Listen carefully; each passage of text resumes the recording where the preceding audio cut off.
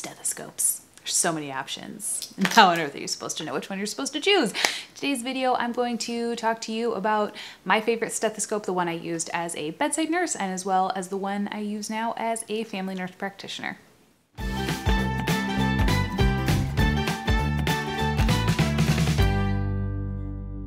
If you're new here, welcome. I'm Liz. I'm a family nurse practitioner, in case you missed that from three seconds ago. And I get this question all the time about what kind of stethoscope I use, so I thought I would make a quick video talking about that. Now, I do want to say before going into this, these are some of the only stethoscopes I've ever used. So while I definitely recommend them, there's really not a lot against other brands. Like I've never used MDF. I there's absolutely, like I said, nothing against those other stethoscopes. I just haven't used them. I have only used Littmann and I've loved them. So that is what I recommend, but really I don't think you can go wrong. Now they're tangled.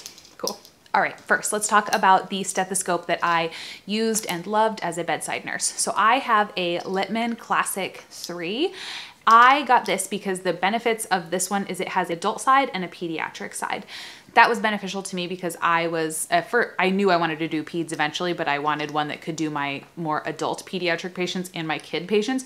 But it ended up working out like really, really well because I worked in adult med surg for a few years before I got to go over to peds. So this came in handy for both. I want to say it was around $100. I will leave links to all the stethoscopes and equipment I talk about in this video down in the description box below if you want to check it out. So if I were you and you were in nursing school and you think you may one day want to do peds, what first of all, like if you're in nursing school or NP school, buy the stethoscope that you want to use in your practice when you're in school. That way you learn on it. Because if you're learning on something and you can't hear anything, like if you're learning on a stethoscope that's like, eh, how are you going to hear the murmur or hear the breath sounds if you've never practiced on it? So I highly recommend if it's something you're able to do, purchase the stethoscope. And I know they're a little bit pricey, but if you can swing it, maybe ask for it for like a birthday or a Christmas present.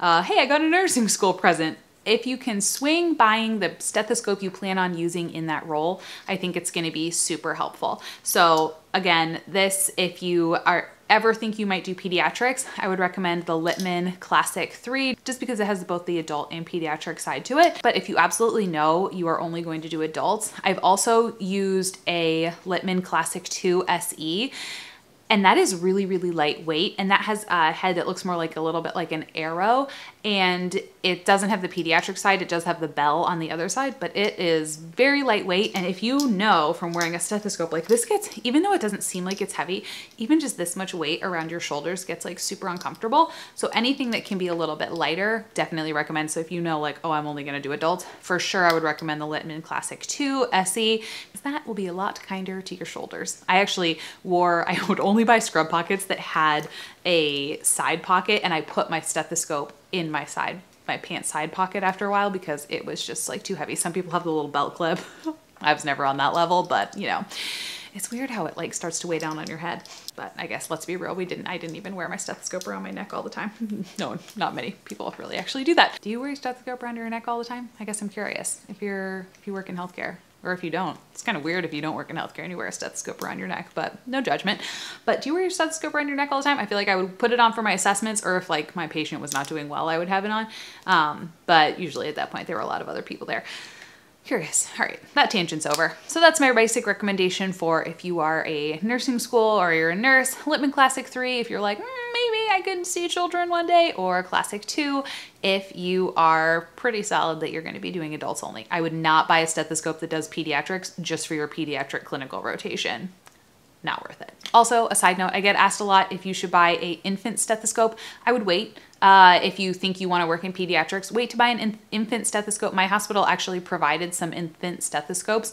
And if you work in the NICU, that's really only the time, or if you're working with a lot of babies, that you would even need an infant stethoscope. But I would hold off and wait until you either get a job in the NICU or and see like one, do you need one? Or two, do they provide them? Because some provide them so that they're like sterile and clean in that space. So I would not worry about buying a an infant stethoscope if that's something that you're even considering. Also, random tip about your stethoscope. If, for, if you're doing it for your nursing job, I would recommend getting your stethoscope in a fun color. I got got purple, which is not like the most standout color, but if I was gonna get it again, I would get it in probably some like brighter color that stands out a little bit more and I would engrave it. And I'm not a huge engraving person or I would get one of those things that you can get like clips and they sit here and your name goes across it because stethoscopes go missing all the time. You lose them very often because you like take it off and you just like put it somewhere and then it's gone for a while. Somehow this is this is my one from like nursing school. I don't know. We've lost each other and come back to each other many times.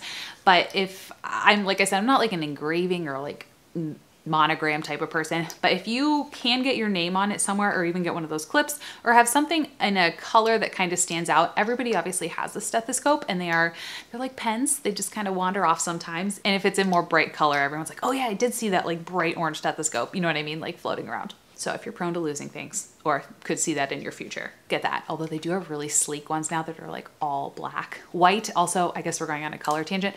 White is a rough color. It looks really cute, but your it gets all the dirt on it and it looks dirty usually fairly quickly. And or your scrub, like the color, like the dye from your scrubs can wear off on it. So I usually discourage people from going with a white stethoscope just because they end up looking kind of grimy and something like purple or a different color usually hides it a little bit better. All right, let's talk about stethoscope I use as a family nurse practitioner. I use a Littmann Cardiology 4. This was widely recommended by most of my preceptors had a cardiology 4, most of the other physicians, PAs, NPs, like pretty much around the board. It seems like if you were not, if you were working in like a general population, this seems to be good enough as a provider unless you're working in like cardiology and you really need to, you know, they even have ones now that are like electronic. So I think across the board, this is a great one. Again, if you can get this or something on this level prior to going into school, that's really helpful.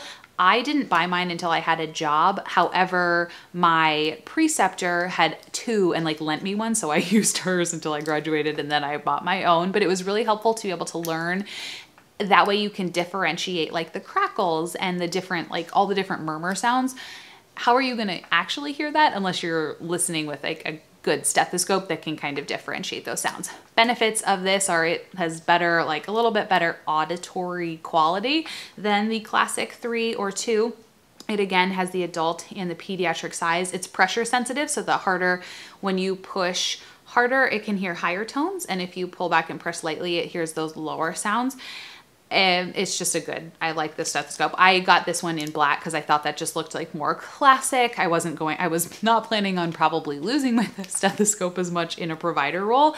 So this is the one i definitely recommend if you are going that route. Now i do get some people who are like well i know i want to be an np so should i just get a cardiology 4 and use that as my bedtime job, I probably wouldn't. This is an expensive stethoscope. It's almost twice as much as this one. So I would rather lose my cardiology, you know, take it to the hospital and lose it versus losing this one. Uh, it's a little bit more expensive. So I would probably still recommend getting separate ones and just keeping them. You're going to want to keep this in your work bag, your nurse one, and this one you're probably going to want to keep in your clinical bag or your NP bag or whatever kind of provider you are. And those are the two stethoscopes that I have loved and used. One other question I get is, you know, should I, if I'm going into critical care or anything like that, should I go for the cardiology 4 as a bedside nurse? And I would honestly say no. This, the classic is good enough to detect murmurs and it's good enough to detect adverse lung sounds. It's not quite as specific, like you can't pick up crackles quite as well or like tiny wheezes, but it's enough to notify people of like, hey, I hear something. And it can it really has honestly like really good pretty good detection. Um, i hear something to call the people in who are then going to go and do more about it. Whereas with the cardiology 4 when you are in the role of the person who now is being called in you want to be able to hear to the best of like to a little bit of a higher quality. So that's why i still recommend. I'm like you don't really as the bedside nurse, you don't necessarily need to differentiate or grade the murmur. Um, but as a provider, you would be expected to do that. You know what I mean? Like this will detect it and this will grade it, if that makes sense. And I think that's all I've got for you on stethoscopes. If you have any questions, feel free to leave them down below. Do let me know if you wear them around your neck. Um, and let me know your favorite stethoscope down below. Because like I said, this is just kind of the brand that everyone had recommended to me and I tried. So I have never tried a lot of the other popular ones out there. I'm really think like, I mean, especially when you're going at the classic two or three level, I think there are probably a lot of comparables. Um, I don't honestly know if there's a ton of like what else would be on this level of the cardiology four. I feel like I'm just like, like in those bell choirs, ding, ding, ding, ding, ding, ding, ding, ding. All right, I'm sorry. I don't know of an equivalency for the Cardiology 4, but I know like MDF and a few other brands have um, good classic ones that are like on the level of a classic two or a classic three. All right, let's put those aside. Oh, side note, let me show you. Bjorn Hall, I've worked with them before. She makes stethoscopes that are actually really good, that are on the level of a classic two or three. Hers are good. I'll link hers down below too. And she is actually a nurse who like started that company. But this is what I keep my stethoscope in, and I'll leave this link down below. My Cardiology 4, it like folds up in here and it's one of my favorite things. This would be like a cool preceptor gift, but it just sits in there and it protects it. So my Classic 2 never got that treatment, but I love this thing. It looks like a little clutch. So recommend this. I've been using this for like over a year and it's um, probably why my stethoscope still looks like it's in great shape. I was like comparing the two. I was like, wow, that one, another one has had a rough life. You've seen some things. Okay, as I throw it on the floor. Hope that was helpful for you. If you liked videos like this, make sure to subscribe. I do videos like this every other week. I have Q&As on the off weeks and then a vlog on Saturdays where I talk about my life inside and out of work as an FNP. Leave me all your favorite stuff down below so everyone can learn from you as well because obviously this is just my opinion and my opinion, while I think should be the only opinion, it is not, just kidding. It's really good that we, you know, we need all the people for the world to go around. All right, guys, have a great weekend. Not weekend. Hope you have a fabulous rest of your day. Thanks for hanging out, and I will see you next time. Bye.